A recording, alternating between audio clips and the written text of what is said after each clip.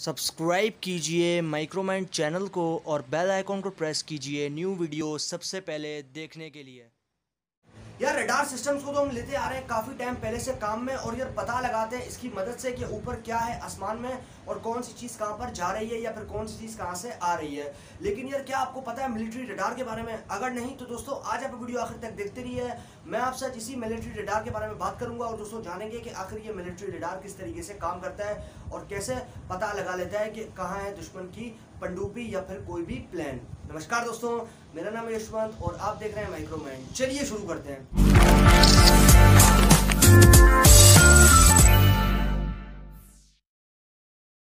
यार दोस्तों, मैं अगर आपसे बात करूँ ना रडार सिस्टम्स की तो बेसिकली रडार सिस्टम का यार जो कंसेप्ट है ना, वो तो है काफ़ी ज़्यादा पुराना। मतलब ये नहीं कि यार कोई नई बात निकल के नहीं आ गई हमारे सामने, इसका जो कंसेप्ट है वो है काफ़ी ज़्यादा पुराना। और यार हम इस रडार सिस्टम को काफ़ी टाइम पहले से काम में ले रहे थे। जो उन ऑब्जेक्ट का पता लगाने के लिए, उन ऑब्स्टेकल का पता लगाने के लिए जो कि आसमान में मौजूद है, या फिर आसमान की जो बेसिकली सरफेस है, उसके ऊपर से गुजरते हैं तो उनकी जो आवाज़ है वो रिकॉर्ड करता है रेडार और बता देता है उनके साइज़ शेप सारी डिटेल्स कि भाई आखिर जो ऑब्जेक्ट था वो किस तरीके का दिखता था। अब यार देखो, मैं अगर आपसे बात करूँ रडार सिस्टम की तो रडार की तो बेसिकली काफ़ी ज़्यादा एप्लीकेशन हैं और यार ये हर जगह पे, हर फ़ील्ड के अंदर यूज़ काम में लिया जाता है। अगर मैं आपसे बात करता हूँ ना बेसिकली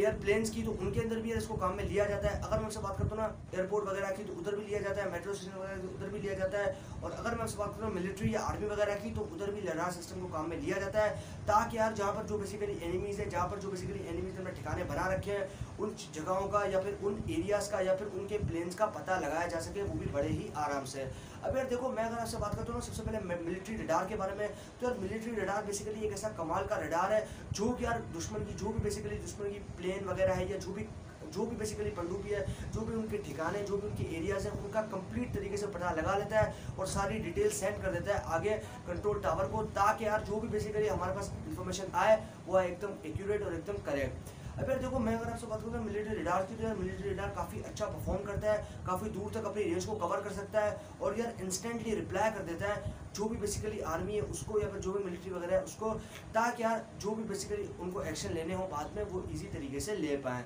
अब यार ज़रा बात करते हैं कि आखिर ये मिलिट्री रिडार किस तरीके से काम करते हैं। अब यार देखो, मैं अगर आपसे बात करूँ ना, किसी भी रडार प्रिंसिपल की तो वो सिर्फ़ एक ही प्रिंसिपल पर ऑपरेट करता है और वो होती है हमारे पास कुछ रेडियो फ्रिक्वेंसी दो चीज़ें होती है, एक होता है ट्रांसमीटर एक होता है ट्रांसरिसीवर तो यार, इन दोनों चीज़ों को बेसिकली तीनों का कॉम्बिनेशन जो है, वो उसको हम कहते हैं रडार और इन्हीं की वजह से बेसिकली इन्हीं के कॉम्बिनेशन से जो रडार है, वो काम करता है कंप्लीट तरीके से और बता देता है कि कौन सा ऑब्जेक्ट किस जगह पर मौजूद है। अब यार ज़रा बात करते हैं कि आखिर ये मिलिट्री रडार किस तरीके से काम करते हैं। अब यार देखो, मैं अगर आपसे बात करूँ इस मिलिट्री रडार की तो ये बेसिकली इस तरीके से काम करते हैं कि इसके अंदर ये लगे होते हैं बहुत बड़े बड़े एंटीनाज अब यार एंटीनाज आप यूँ मान के चलो कि एंटीनाज ना एक सेंडिंग रिसीवर की तरह काम करते हैं। मतलब ये कि सिग्नल को सेंड भी कर सकते हैं रिसीव भी कर सकते हैं। अब ये क्या करते हैं कि ये काफ़ी हाई फ्रिक्वेंसी की जो रेडियो वेव्स हैं, उसको यार एमिट करते हैं। अब यार एमिट करते हैं तो ज़ाहिर है कि ट्रांसमीटर से ही एमिट करेंगे। अब यार एमिट करते हैं तो एमिट करने के बाद में वो जो वेव्स है, वो जाती है आगे और आगे हवा में जाने के बाद में टकराती है। जो भी बेसिकली दुश्मन है, उसकी प्लेन से और प्लेन से टकराने के बाद में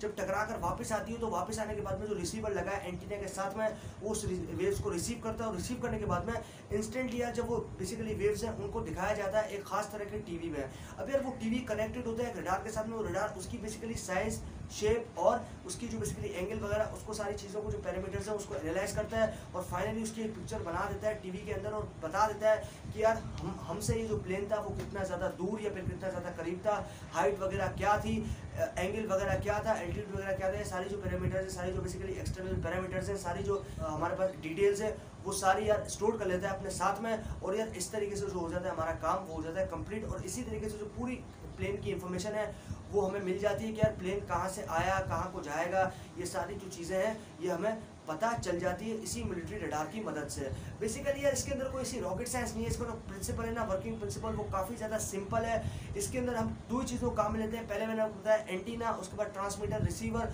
और रहते हैं रेडियो फ्रिक्वेंसी को काम में। क्योंकि यार रेडियो फ्रिक्वेंसी आप भी जानते हैं, काफ़ी दूर तक जो अपनी रेंज है वो कवर करती हैं, वो भी बिना किसी ड्रॉप के। अब यार, मैं अगर आपसे बात करता हूँ इस मिलिट्री रडार की तो इसके इसके थ्रू यार हम काफ़ी जो बेसिकली और दुश्मन की जो बेसिकली हमारे पास एयरप्लेन्स हैं या फिर दुश्मन के जो एरिया है, जहाँ पर उनके जो बेसिकली अड्डे वगैरह हैं, जहाँ पर यार वो मौजूद है, जहाँ पर वो रुके हुए हैं, उन सभी जगहों का यार पता लगा सकते हैं और आसमान पर जितनी भी चीज़ें हैं, जितनी भी बेसिकली ऑब्स्टेकल हैं, जितनी भी चीज़ें जो आसमान पर मौजूद हैं, जो भी कहीं से कहीं पर जा रही हैं, उन सभी चीज़ों का इजीली पता लगा सकते हैं। इसी मिलिट्री रडार की मदद से और अगर आप देखते हैं नॉर्मल रडार को तो उसकी मदद से भी हम पता लगा सकते हैं बड़े ही आराम से। तो बेसिकली यार, यही था सारा कंप्लीट कंसेप्ट इसी मिलिट्री रडार के बारे में। मुझे उम्मीद है कि आप लोगों को वीडियो ज़रूर पसंद आया होगा। इसी मिलिट्री रडार के बारे में अगर वीडियो पसंद आया तो वीडियो को लाइक और शेयर करना बिल्कुल भी मत भूलिएगा। और चैनल को अभी तक सब्सक्राइब नहीं किया तो तो चैनल को सब्सक्राइब कर दीजिए, क्योंकि मैं आपके लिए रोज़ाना ऐसी वीडियोज़ लेकर आता रहता हूँ। अभी के लिए दोस्तों, इतना ही। Stay blessed stay inspired